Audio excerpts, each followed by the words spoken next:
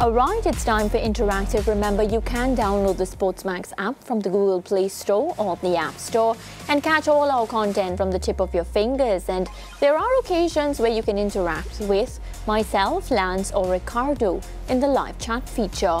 Also be sure to check out our clips on X, Instagram and YouTube.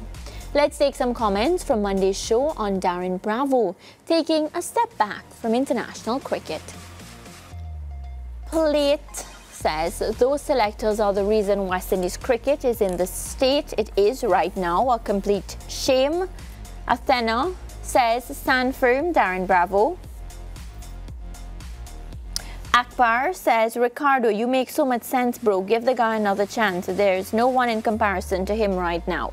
Constantine Desmond Haynes played his last match for the West Indies on April 13, 1994, and he was 38 years old. So is it that Darren Bravo at 34 is too old to be selected?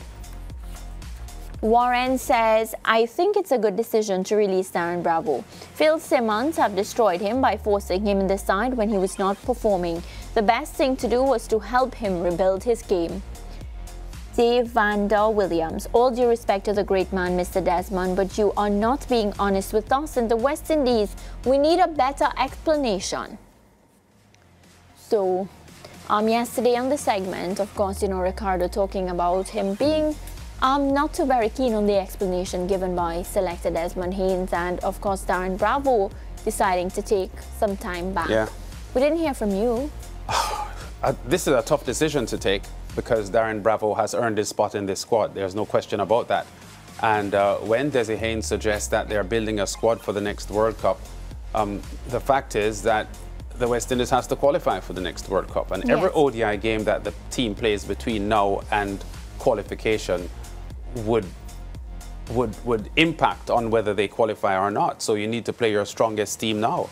And Darren Bravo represents the quality that would help the West Indies being the strongest team. I'm not sure what the selection panel of Desi Haynes, Roland Butcher and Daren Sammy, which is the panel that selected this ODI squad, uh, would have been thinking here.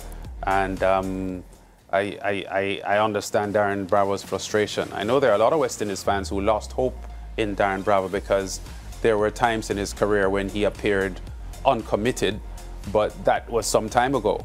And he appears to be committed now, and his bat is doing a lot of talking and he would definitely help the West Indies team now. So it's shocking that he has been omitted.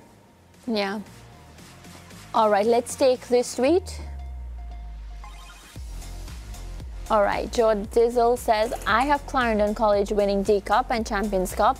The machine from Chapelton is well oiled. I would be shocked if they lose. Lance? Well, Do you agree it. with I, her? I, I, I, have to say, I think Clarendon College is the best schoolboy football team in Jamaica at the moment. So it's not surprising that people are backing them to win. All right, right now it's 1-1 between KC and Glenmuir, so wow. anything can happen at this point. We have to wish you goodbye, though. That's all from us for today. But don't you worry, tomorrow we'll be back with another set of sporting events and talking points. So have a beautiful evening. I'll see you tomorrow. Shake when you're moving. You come vibrate when you're rolling.